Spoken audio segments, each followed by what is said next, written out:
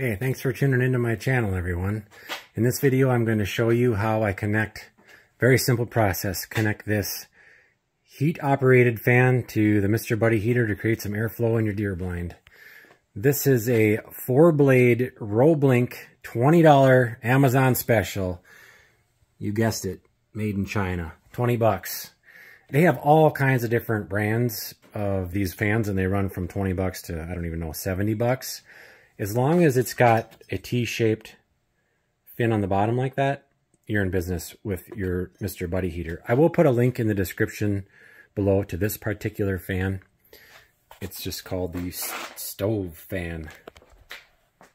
The tools I'm going to use to mount the stove fan to the Mr. Heater Portable Buddy heater is a drill, a quarter inch drill bit, and an angle grinder. You could get by with a hacksaw or a sawzall with a metal cutting blade. The idea here is to, to just make a notch in the back of the upright fin so that it slides in through that wire. And then the drill hole will create a little groove or a little notch for it to set and rest in there so it won't fall out so easily. As you can see, I've simply clamped it in the bench vise. Got it pretty good and tight so that when I when I drill, and when I run my angle grinder down through there, it's it's just got it good and secure. First, I'm going to drill the hole. I'm going to stay re relatively close to the bottom. And I'm going to come down about a half inch from the back of the fin. And again, about as close to the bottom as I can get.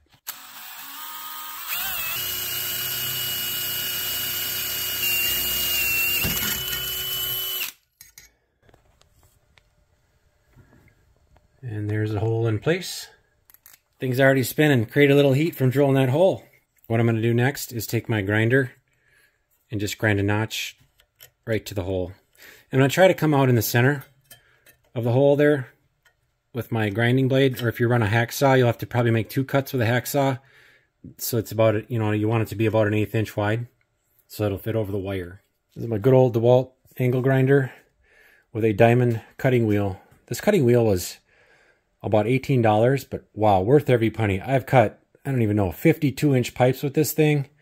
These diamond blades are so much better than those, uh, the blades that wear down as you cut through the metal. It doesn't wear down and it just keeps cutting. It's getting kind of dull now, but it still cuts pretty good considering how much I've used it. Kind of goes without saying, but whenever you're using a metal grinder, make sure, and a drill, make sure you put your eye protection on and in case of the grinder, ear protection.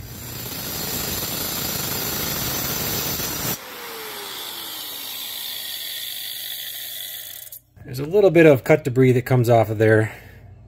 I'll just take a screwdriver or something and clean that stuff up. The wire on the buddy heater is going to be a little bit wider than that notch. So I'm just going to make it a little bit wider with my grinder. So I've got my cut opened up to about an eighth of an inch as you can see there. Now it'll slide onto the wire on the buddy heater. Okay, so we're just going to pop it right on. You can set it on the second wire down and slide it in just like so. If it feels like it's going to be a little tippy, you can actually pull down on it a little bit. And it sits on there real nice, nice and stable. You can actually use it if you want it to angle, you know, downward more, more towards the floor, towards your feet, which is where the coldest air is. Since you've got that quarter inch hole drilled in there, it really, it holds it almost, it'll hold it almost pointing straight down. I don't know how much heat you're going to get, you know, at this angle. You get the most of the heat's coming out of the top of the heater right here. So it's probably going to perform the best, you know, like on the second one down. You know, right in there somewhere. But we're going to just leave it in the top one here for lighting it up and demonstration purposes. It might be a little easier to see the fan spinning. Well, we're going to give it a try and see how it works. I've got the fan mounted on top of the Mr. Heater carbon monoxide alarm just in case. That's carbon monoxide, not carbon dioxide. 20 pound cylinder. Mr. Heater type brand hose. You do not need, my opinion, you don't need this filter if you have the appropriate hose. If you have the wrong hose, it's going to cause problems. But I had these filters on in between the Mr. Heater brand hose and my Mr. Heater, and you know what? They cause problems. I don't use them. I've been using this for three years without that filter in th this method, and it works. So we're going to start by turning on that tank. like the pilot.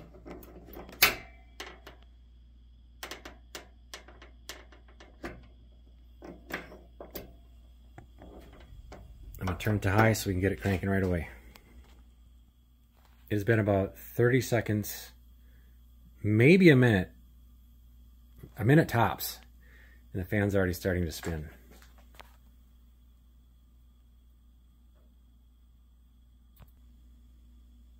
It's now about a minute after that, and the thing is humming pretty good.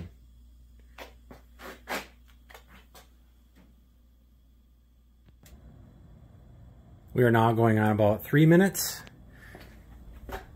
I think it's going about as fast as it's probably going to go. I've got a piece of toilet paper here. I'll show you what kind of kind of ventilation we're getting out of there. It's not like a, you know, electric fan going on high, but it's moving air. So pretty neat for no electricity. And I'm to shut the heat down. We'll see how long it takes for it to stop spinning. It's not a real, not they're not heavy duty blades and they're not real sharp. So if you bump your finger into it, it doesn't, it doesn't hurt and it doesn't really cut. I'm good. So there you have it. I don't know how long it took before that thing quit spinning again. Half hour? Maybe more. I don't know. But hey, I'd like to take this uh, opportunity to introduce you to another YouTuber, Hugh Phillips, DIY Outdoors. Hugh's a military vet who has an outdoor channel. Uh, and he's got some pretty cool uh, videos on there. One is a $50 DIY deer blind that he built himself. Turned out really cool, full of awesome details. Another one of his videos is a DIY uh, wood stove for that deer blind built out of an ammo can. He's got a rain barrel video, a how to do your own European mount type video. So check out Hugh Phillips DIY Outdoors on YouTube. I'll put a link to Hugh's channel in the description below. Well, thanks for watching this video, everyone. Good luck out there hunting in your deer blind while being warm in it.